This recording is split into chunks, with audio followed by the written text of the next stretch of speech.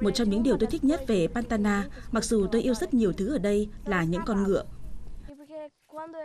Khi tôi ở bên chúng, tôi cảm thấy tự do. Tôi có thể cưỡi ngựa bất cứ lúc nào trong ngày. Tôi rất vui khi có thể đi vào cánh đồng, vào rừng cây.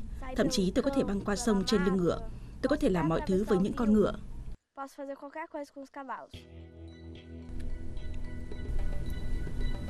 Gia đình của Leticia sở hữu 3.000 đầu gia súc, sống bán tự do trên hàng nghìn mẫu Anh. Để chăm sóc chúng hoặc để chúng di chuyển xung quanh, họ thuê những người đàn ông cưỡi ngựa được gọi là các cao bồi. Ông Medusa là trưởng nhóm. Những chàng cao bồi rất quý mến ông. Hai lần trong năm, các chàng cao bồi đi hàng trăm cây số trên đầm lầy với những con vật nuôi họ muốn bán. Điều này được gọi là comitiva. Ước mơ của tôi là được tham gia vào trải nghiệm thú vị này, nhưng tôi không dám nói với bố mẹ tôi điều này. Họ sẽ nói điều đó quá nguy hiểm đối với tôi. Họ vẫn nghĩ tôi là một cô bé, nhưng tôi đã trưởng thành. Leticia đã trưởng thành cùng với những con ngựa đặc biệt Pantanero. Cô bé bắt đầu cưỡi chúng ngay sau sinh nhật đầu tiên.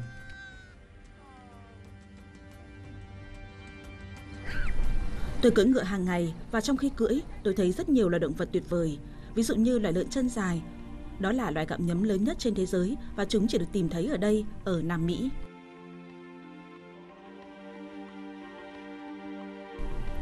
Chúng sống bên mép nước, gần lũ cá sấu đang phơi nắng. Hàm của con vật có thể cắn qua cổ của chúng. May mắn thay, chúng không tấn công con người. Và đây là những người bạn tốt nhất của tôi, những con rái cá. Một số loài động vật có thể đáng sợ, nhưng tôi không sợ chúng. Nếu tôi kể cho bạn về cuộc sống của tôi, bạn sẽ phải lựa chọn giữa sự ghen tuông hay ước mơ lớn lên như tôi, giữa những con vật hoang dã. Tôi cá là bạn sẽ muốn mơ ước, vì vậy tôi sẽ kể cho bạn tất cả về cuộc sống của tôi.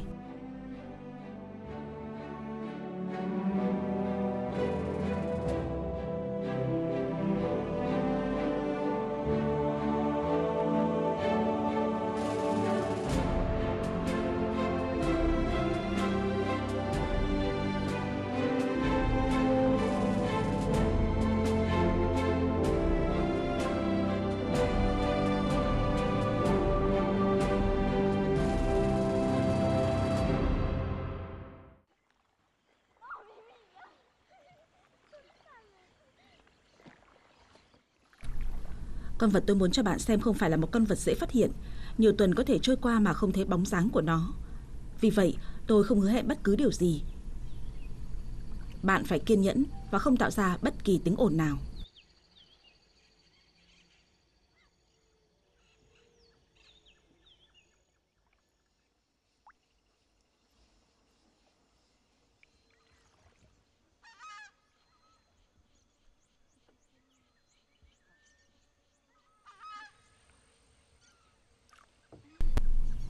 Nhìn kìa, đó là một con báo đốm.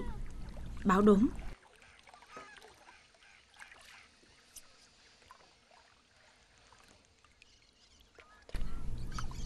Trên bờ đối diện.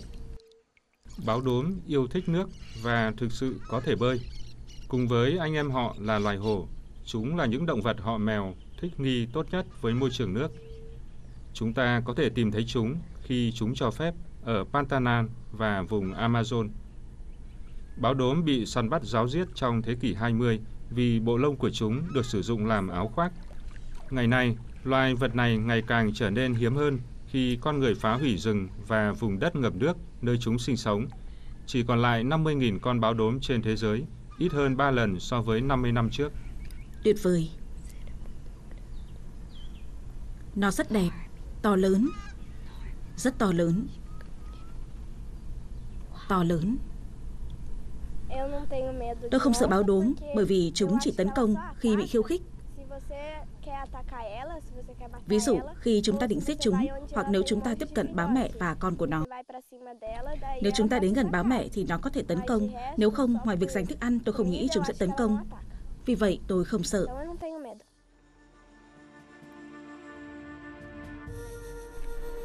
Cha mẹ cô bé đảm bảo rằng ngay cả khi Leticia đang lớn lên giữa các loài động vật hoang dã, cô bé vẫn đến trường như những đứa trẻ khác. Đường đi học khá dài, gần 2 giờ đồng hồ. Trong các vùng đất xa xôi của Pantanal, nơi Leticia đang lớn lên, cũng có các trường tiểu học, nhưng không có trường trung học cơ sở. Và việc học ở nhà không được phép ở Brazil. Để tiếp tục việc học tập của mình, Leticia sẽ phải rời xa mái trường và tiếp tục học hành ở thành phố Campo. Tôi nghĩ tôi muốn trở thành kiến trúc sư, nhưng tôi sẽ mãi gắn bó với nơi này. Tôi luôn muốn chăm sóc nó, luôn ở gần để có thể thấy những gì đang diễn ra ở đó.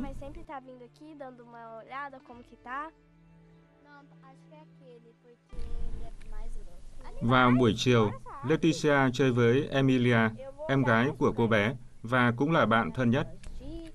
Các cô bé thích leo cây và ngắm nhìn những con ngựa, đặc biệt là Layla, khi họ học cưỡi ngựa.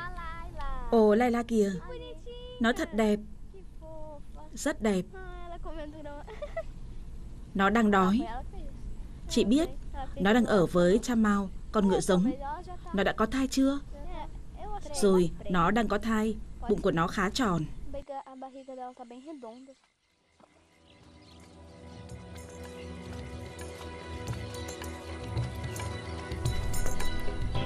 Tổ tiên của giống ngựa Pantanero xuất hiện vào thế kỷ 16 cùng với những người chinh phục, những chiến binh đã xâm chiếm Nam Mỹ. Những con ngựa của họ trở về trạng thái hoang dã, phải đối mặt với mưa, hạn hán, đỉa, báo đốm và ký sinh trùng. Chỉ có kẻ mạnh nhất mới sống sót. Cuộc đua phi thường này đã ra đời như vậy. Ngựa ở hồ Pantanan nhỏ, có lồng ngực rộng và móng guốc mạnh mẽ. Cổ của chúng nhiều cơ bắp. Chúng hoàn toàn thích nghi với cuộc sống trong đầm lầy.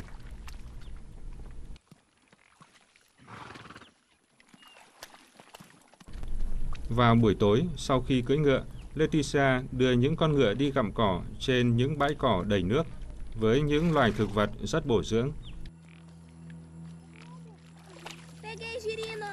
Con bắt được một con nòng nọc, nó rất nhỏ.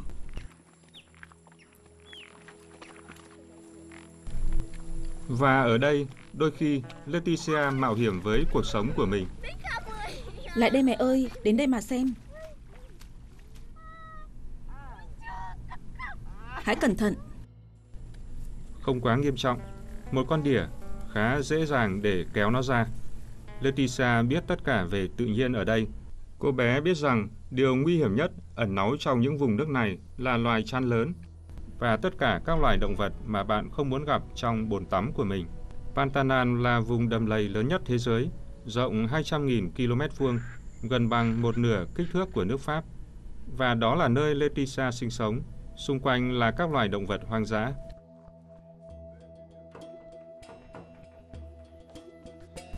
Sáng nay, một con bê đã biến mất. Chúng tôi nghĩ một con báo đã bắt nó. Bố tôi muốn biết chuyện gì đã xảy ra. Lucas và Marina, bố mẹ của Leticia, luôn tích cực bảo vệ những con báo đốm. Thông thường những con báo bám theo lợn rừng, nhưng đôi khi chúng sẽ giết một con bê hoặc một con bò. Những con báo đốm sau đó sẽ gặp nguy hiểm vì người nông dân sẽ giết chúng để bảo vệ gia súc của họ. Nhưng Lucas và Marina tin rằng những con báo đốm có quyền là một phần của chuỗi thức ăn ở Pantanan và chúng phải được bảo vệ. Họ là những nhà sinh vật học, nghiên cứu báo đốm đã trở thành niềm đam mê của họ. Để an toàn, bố tôi mang theo một khẩu súng dưới da. Ông sẽ đưa con báo đốm vào giấc ngủ nếu chúng tôi tình cờ đối mặt với nó. Báo đốm đã giết con vật nào đó, có lẽ là một con bê, và kéo nó vào rừng. Bây giờ bố sẽ đi một mình, sau đó bố sẽ gọi con.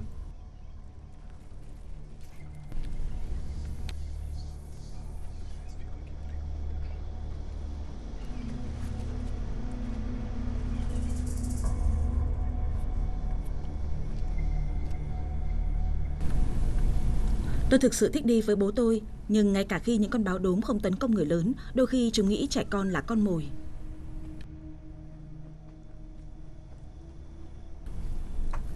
Bố tôi lo lắng về con báo đốm này, nó đang đi lang thang và một nông dân láng giềng có thể giết chết nó. Tôi nghĩ bố muốn truyền niềm đam mê của mình cho tôi, niềm hy vọng bảo vệ những con báo đốm. Ông nói rằng nếu chúng biến mất, toàn bộ vùng Pantana sẽ chết theo.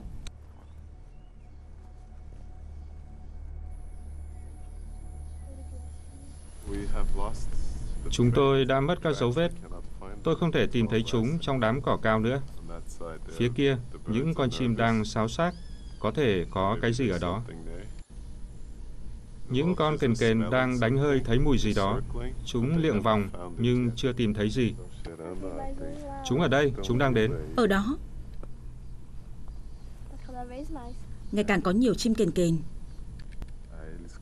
Chúng biết có cái gì đó để ăn và đang bắt đầu bay xuống. Chúng đến từ đằng kia. Chúng ta sẽ quay trở lại để xem con báo đốm đã kéo con mồi của nó đi đâu.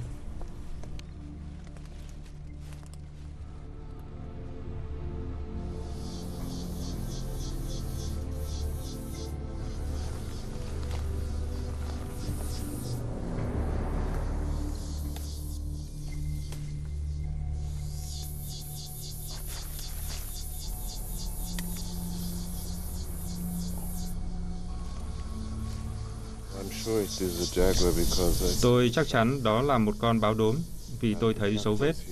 Nó đã ở đây cách đây vài phút. Và rồi chúng ta đến, gây ra tiếng ồn. Nó đã đi lối kia. Lucas đặt camera tự động xung quanh xác chết. Ông hy vọng con báo đốm sẽ quay trở lại. Hình ảnh thu được sẽ cho phép ông nhận ra nó. Nếu điều đó xảy ra, họ sẽ biết là nó đang di chuyển ra khỏi lãnh thổ của mình và dễ gặp nguy hiểm. Bằng cách này, bố mẹ của Leticia đã nhận diện và bảo vệ 12 con báo đốm trong một năm.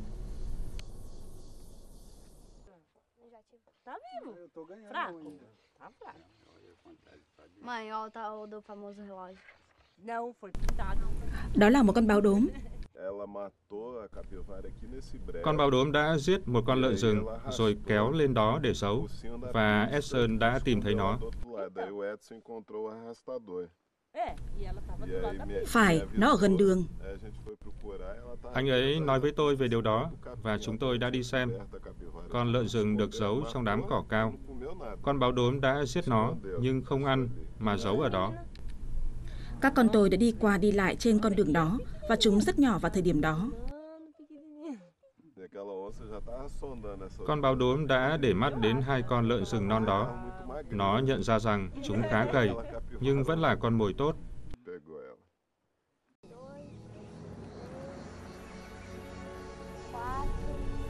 Mặc dù luôn sống bên cạnh những con ngựa và các loài động vật hoang dã, Leticia đánh giá cao từng khoảnh khắc sống với thiên nhiên. Cô bé nhận ra vận may của mình và muốn tận dụng tối đa lợi thế. Vài con ngựa cái vừa mới sinh con. Laila, con ngựa cũ của Leticia, đang chờ sinh nở. Chamao, con ngựa đực to lớn màu đen thường ở bên Laila.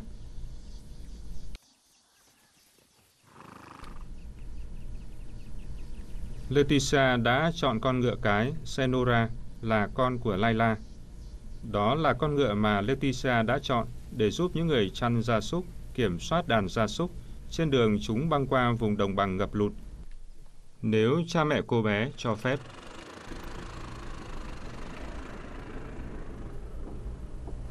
Đã đến lúc thu thập các camera tự động được đặt gần xác con bê.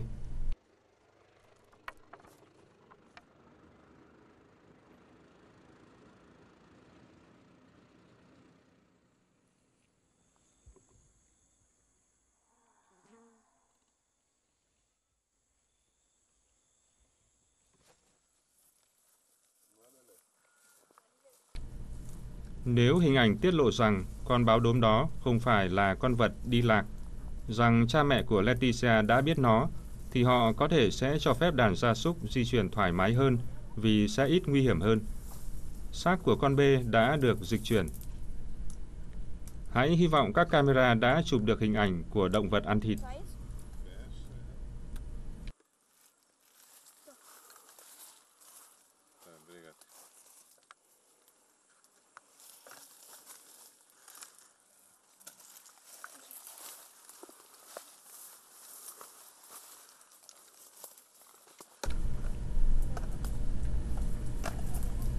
Leticia rất muốn biết câu trả lời, nhưng cô bé sẽ phải đợi bố tải xuống các hình ảnh.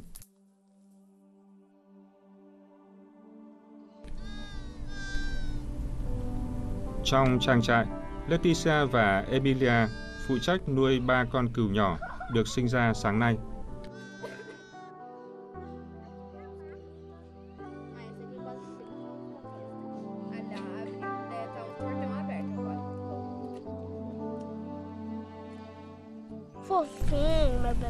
Dễ thương quá này. Quả táo nhỏ xinh của ta. Thật dễ thương.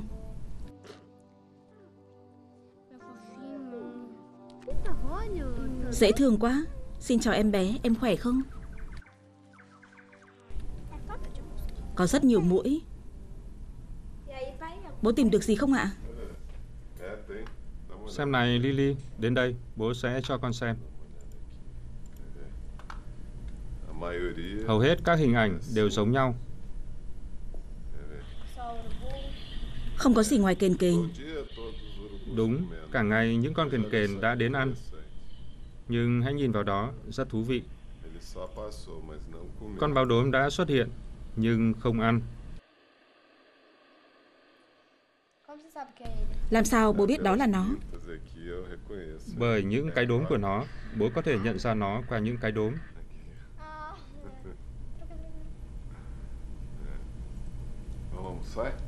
Chúng ta đi nhé. Đến lúc rồi.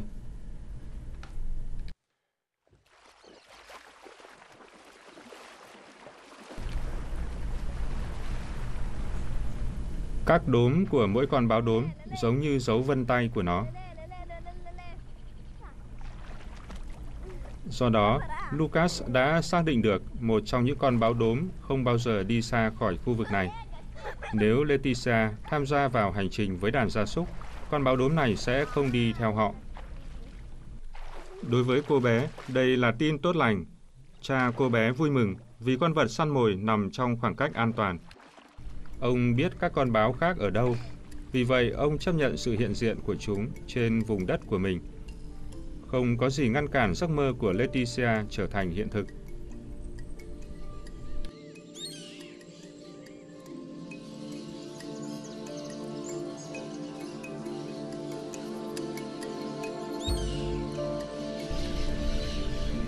Tuy nhiên, sáng hôm sau, Leticia tỉnh dậy cùng với cơn sốt cao.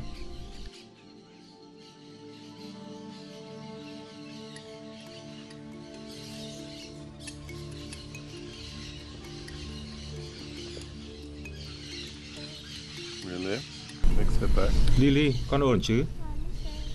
Không ổn ạ. À. Con đang bị sốt. Hãy ngủ lâu hơn một chút. Sau đó bố sẽ mang cho con thứ gì đó để uống. Vâng, cảm ơn bố.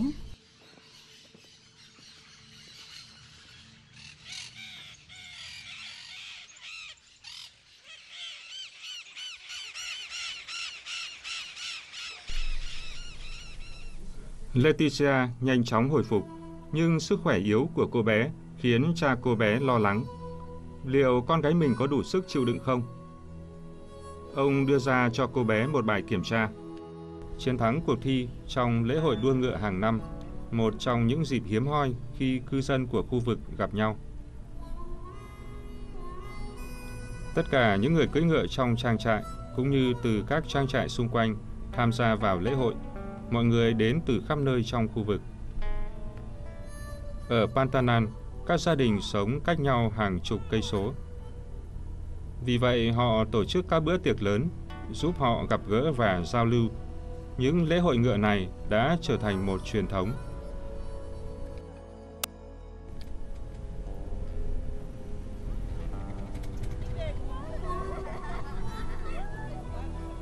Leticia đăng ký như cha cô bé muốn cho cuộc đua vượt thùng, một trong những cuộc thi điển hình nhất trong lễ hội ngựa. Những chiếc thùng được đặt xung quanh. Ngựa phải lượn lách mà không chạm vào bất kỳ chiếc thùng nào.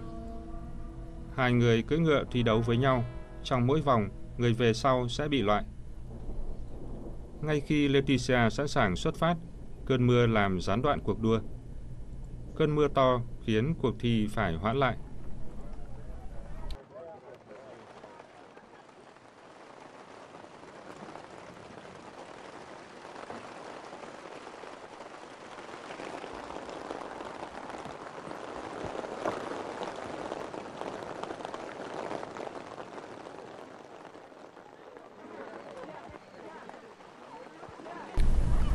Cuối cùng là rút thăm. Điều này rất quan trọng, vì đó là khi những tay đua biết đối thủ của họ là ai. Adrien. Cháu đã được rút thăm rồi ạ? Ôi trời ơi, Leticia cưỡi con ngựa Violetta. Leticia thi đấu với Jose Philip. Vâng. Leticia sẽ cưỡi con ngựa Violetta. Cô bé rất quý mến chú ngựa này.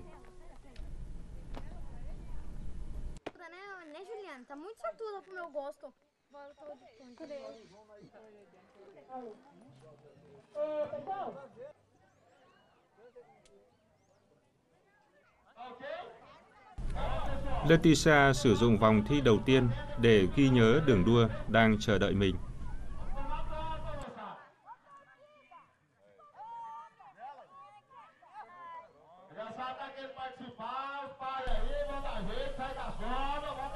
Cuối cùng, đến lượt cô bé. Leticia vào vị trí của mình ở cổng xuất phát, trong khi cô bé đang quan sát. Cô bé xuất phát.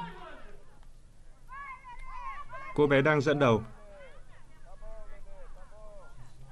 Cô bé điều khiển ngựa không để nó va vào thùng và củng cố vị trí dẫn đầu của mình.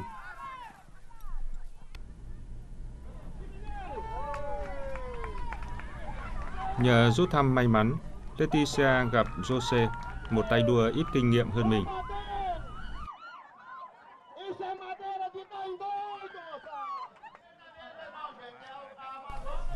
Cô bé đã may mắn, liệu cô bé có may mắn ở vòng 2? Đối với Leticia, chiến thắng là rất quan trọng nếu cô bé muốn biến giấc mơ của mình trở thành sự thật và tham gia hộ tống đàn gia súc.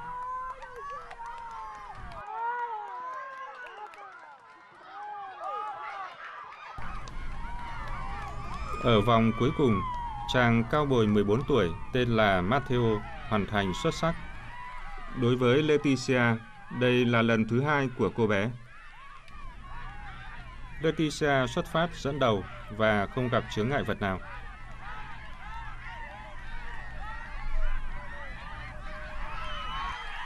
Xong khi về đích, Matteo vượt qua cô bé. Chỉ nhanh hơn vài cm. Leticia sẽ thắng.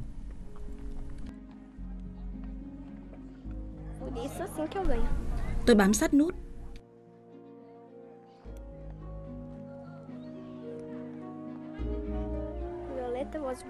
Violetta rất giỏi.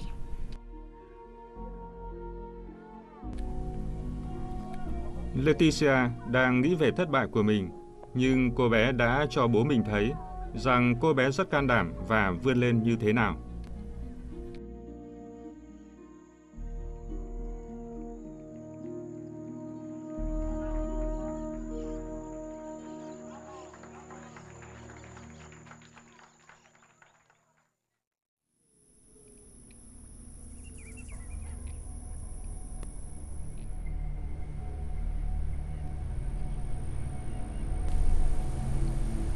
Nếu cuối cùng cha mẹ Leticia quyết định cho phép cô bé tham gia vào đội hộ tống gia súc, cô bé sẽ cưỡi con Senura. Nhưng một chàng cao bồi vừa mới nói với cô bé điều gì đó. Có một tai nạn.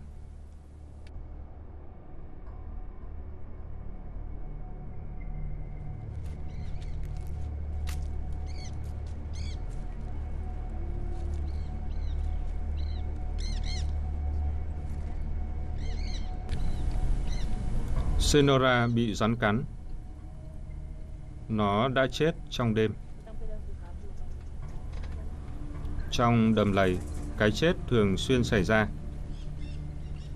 Leticia rất buồn, nhưng dù ít tuổi, cô bé đã hiểu được quy luật của tự nhiên. Cô bé sẽ không khóc lóc khi một con vật bị chết nữa, ngay cả khi đó là con ngựa của mình. Mặc dù đang cố gắng trở nên mạnh mẽ, Leticia vẫn không thể ngủ ngon. Cô bé đi, không bộc lộ nỗi buồn của mình, để tìm sự an ủi từ một người biết rõ tự nhiên và những hiểm nguy của nó, ông Mendoza. Cháu chào ông. Chào Lily, cháu khỏe không? Khỏe ạ. Cháu uống trà nhé. Vâng.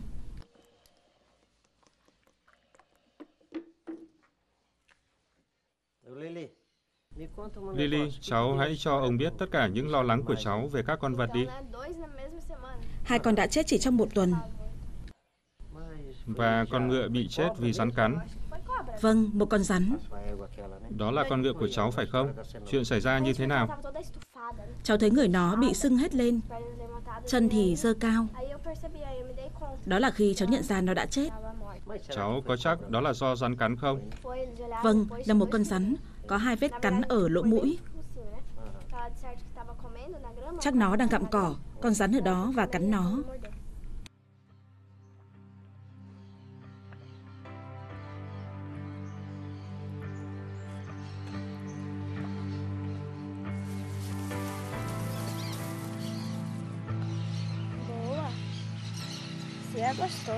Bạn thật đẹp.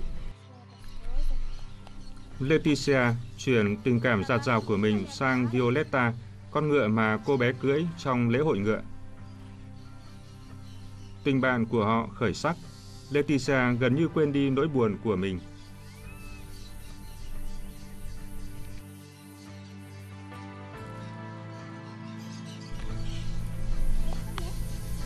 Việc cưỡi ngựa cần đến mối quan hệ tin tưởng giữa con ngựa và người cưỡi. Bạn phải chú ý đến con vật, chăm sóc nó bằng cách trải lông, vuốt ve nó và khi cần nói chuyện với nó. Đổi lại, con ngựa sẽ luôn đảm bảo an toàn cho người cưỡi.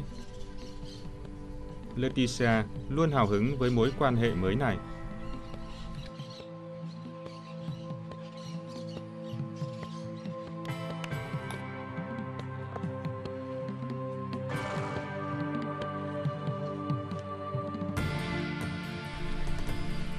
Leticia tìm mọi cách để thuyết phục bố mẹ cô bé. Bố, nó quá xa phải không? Nó quá xa phía sau phải không? Đúng rồi, hãy chỉnh lại, làm như thế này. Trong vài ngày qua, cô bé thường xuyên cưỡi ngựa và đã phát triển mối liên hệ thân thiết với Violetta.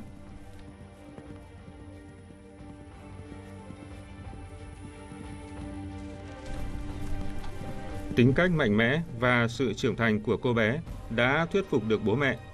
Họ đồng ý. Lần đầu tiên, Leticia sẽ tham gia trong một hành trình cùng với đàn gia súc. Và con ngựa cô bé sẽ cưỡi là Violetta, con ngựa mà cô bé luyện tập mỗi ngày.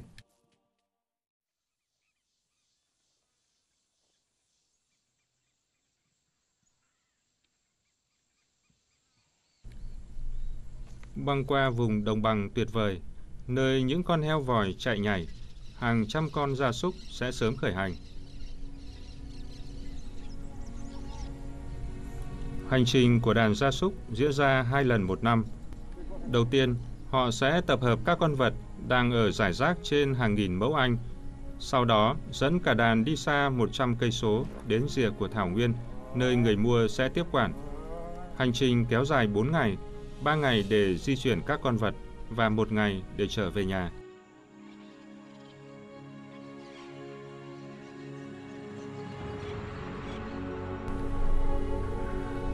Mendoza và một số chàng cao bồi xuất phát để tìm kiếm các con vật. Vào cuối ngày, Mendoza sẽ đi trước để chuẩn bị trại nghỉ tối. Đây là một cuộc thám hiểm nó được chia thành nhiều giai đoạn khác nhau. Mỗi giai đoạn không được quá khó khăn để đàn gia súc không quá kiệt sức khi đến nơi. Tất cả mọi thứ phải được chuẩn bị cẩn thận. Hành trình, bữa ăn của các đội, thời gian nghỉ ngơi cho các con vật.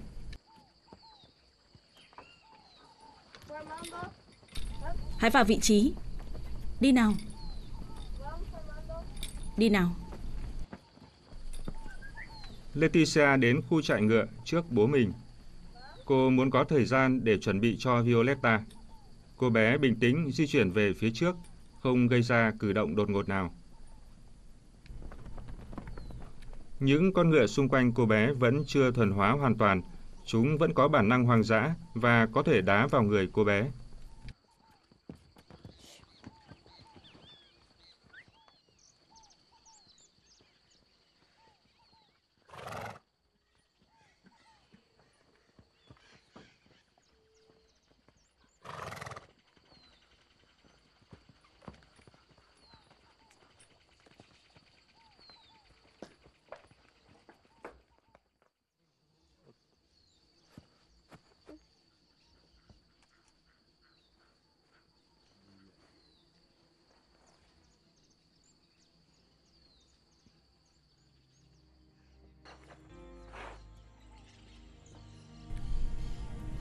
Leticia dự định dấn bước vào cuộc phiêu lưu này.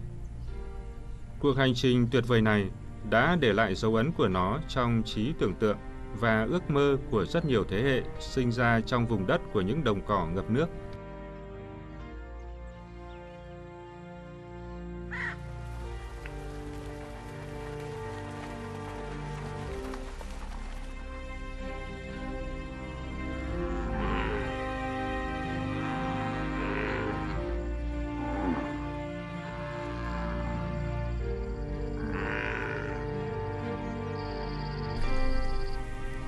Leticia và bố cô bé đi về phía đàn gia súc mà các chàng cao bồi đã tập hợp lại.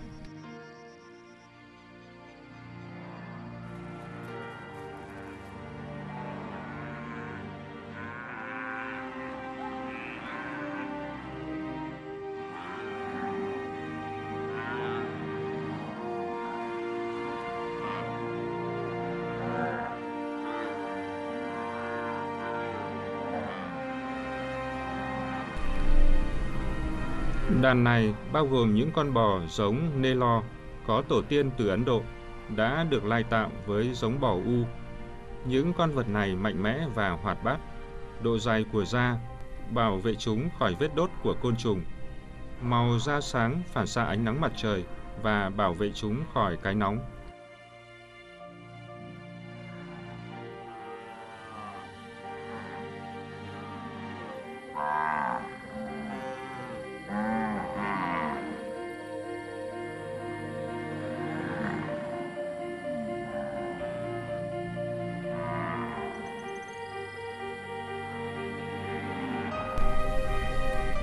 Hành trình lớn bắt đầu. Nó sẽ kéo dài 4 ngày. Họ sẽ phải lùa một đàn gia súc lớn qua những cánh cổng hẹp, những vùng đầm lầy, khuyến khích những con vật bị suy yếu do phải chạy qua bùn đầm lầy. Từng chút một, thông qua sự hướng dẫn của các chàng cao bồi, đàn gia súc trở nên tập trung hơn.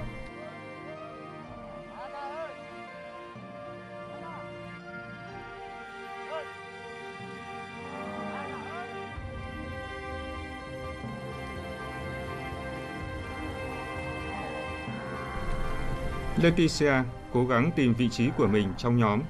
Mỗi người đều có một vị trí, giống như trong một đội bóng. Một người dẫn đầu và gọi đàn gia súc. Hai hoặc ba người ở hai bên hướng dẫn cả đàn di chuyển theo một hướng. Hai hoặc ba người khác chạy phía sau, lùa các con vật tụt lại hoặc đi lang thang. Leticia lần lượt đẩy các con vật lên phía trước. Các khu vực chăn nuôi khác nhau được khoanh bằng hàng rào Đi qua cổng có thể cực kỳ nguy hiểm. Nếu đàn gia súc dồn lại ở cổng và bị mắc kẹt thay vì đi qua đều đặn, các con vật có thể bị kích động và làm tổn thương bản thân. Dù có chút lo lắng, Leticia làm hết sức mình để hướng dẫn các con vật.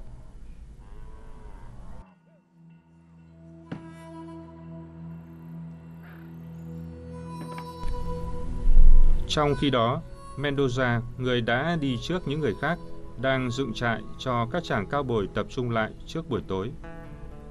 Ông đã chuẩn bị một món ăn đặc biệt.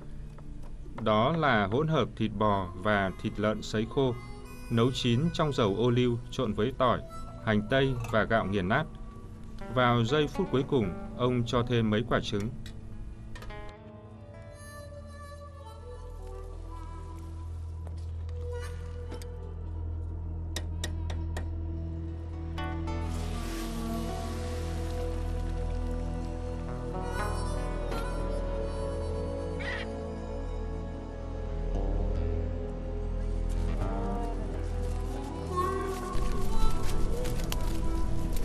Mặt trời đã lặn, các chàng cao bồi và Leticia đến trại.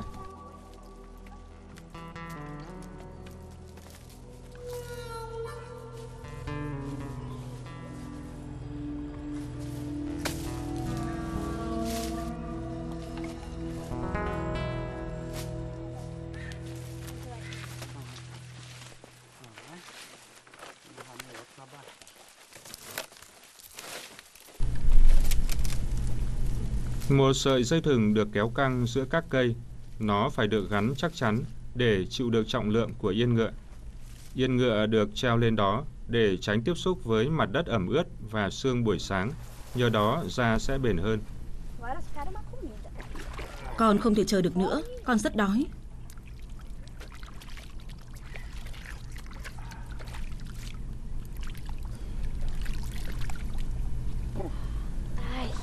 Thật tuyệt.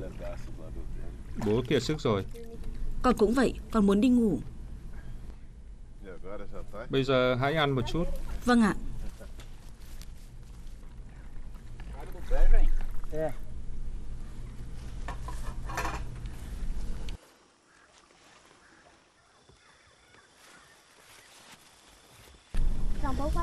Bố có ăn không ạ? Ồ đúng, Cháu thả con ngựa ở đâu? Trong cánh đồng à? vâng, ở đằng kia.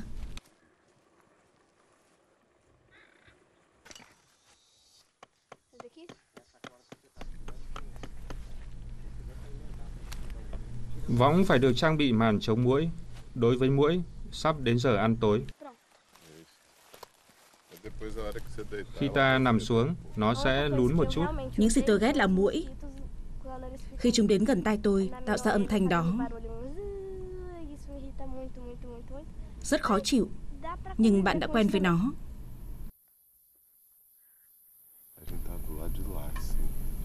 Chúng ta ở đó. Con có thấy bụi cây đằng kia không? Vâng, Có nhiều vẹt đuôi dài ở đó. vẹt ư. Vẹt đuôi dài màu xanh, chúng xuất hiện như thế. Ngày đầu tiên của hành trình sắp kết thúc và tôi đã làm khá tốt. Tôi đã làm tất cả những gì có thể để không ai chú ý khi tôi sợ bị ngã trong lúc những người khác phi ngựa quá nhanh. Tôi mệt mỏi nhưng nó thực sự tuyệt vời. Leticia khám phá ra công việc chăn gia súc khó khăn như thế nào. Cưỡi ngựa liên tục dưới ánh mặt trời hoặc trong lúc trời mưa, làm việc chăm chỉ không nghĩ ngợi nhiều, không còn được ngủ trên giường nữa. Do ước lượng sai lối vào ở cổng, cô bé đã mắc lỗi đầu tiên. Nhưng hình phạt duy nhất cho cô bé là sự chế giễu của những người trong đội. Đây là những gì cô bé mong muốn nhất, đảm nhận trách nhiệm của mình đến cùng.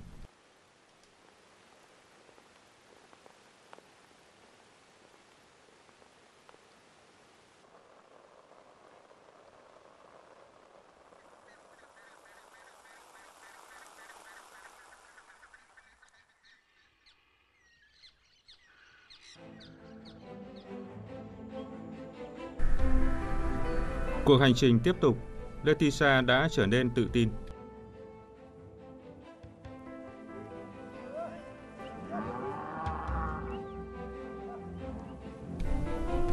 Violetta phản ứng hoàn hảo với mọi mệnh lệnh của cô bé, gần như đoán trước được.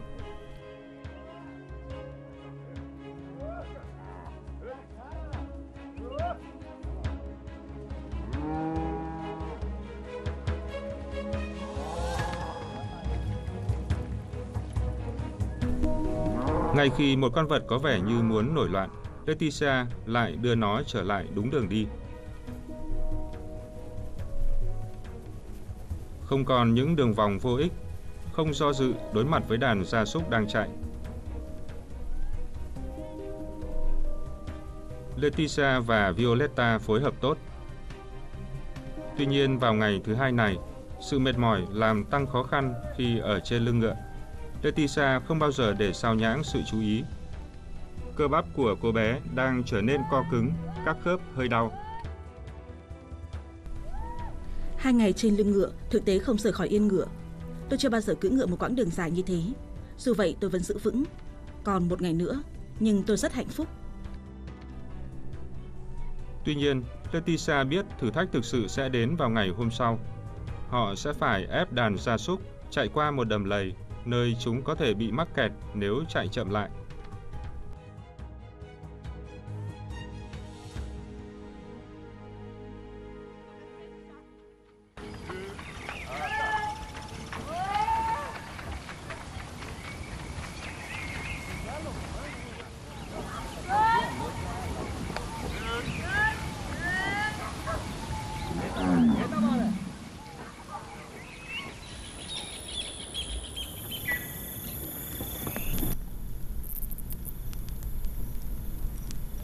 Đêm đó, lo lắng về những khó khăn trong ngày mai, Leticia không ngủ ngon.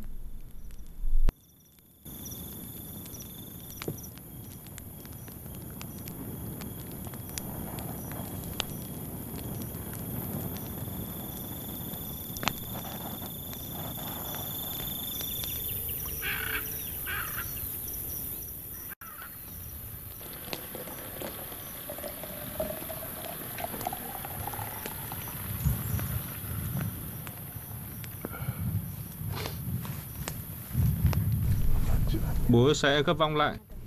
Con cũng vậy.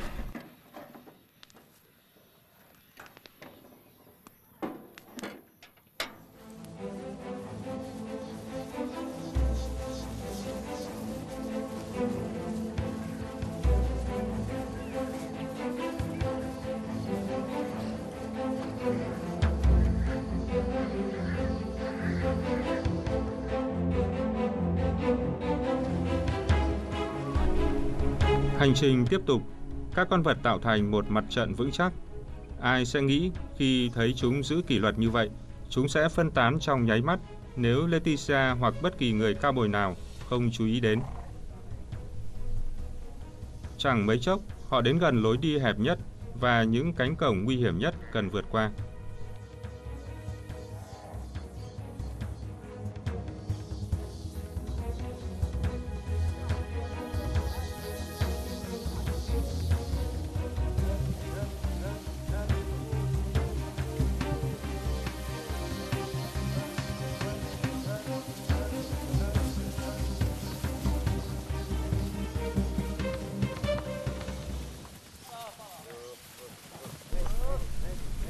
Hầu hết đàn gia súc đã vượt qua, nhưng một nhóm đi về phía Leticia.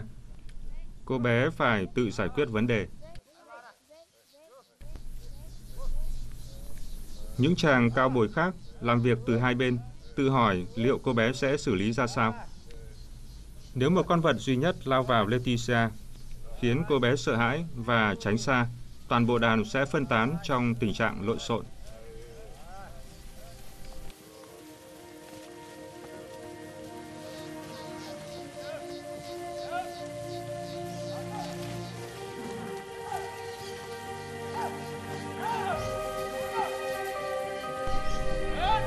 Đó chỉ là một vấn đề nhỏ so với khó khăn mà cô bé đang phải đối mặt lúc này.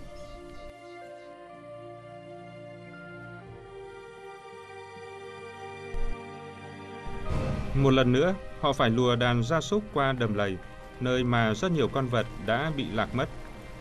Vai trò của mỗi người đàn ông và của Leticia là khích lệ cả đàn để không con vật nào có thể dừng lại được.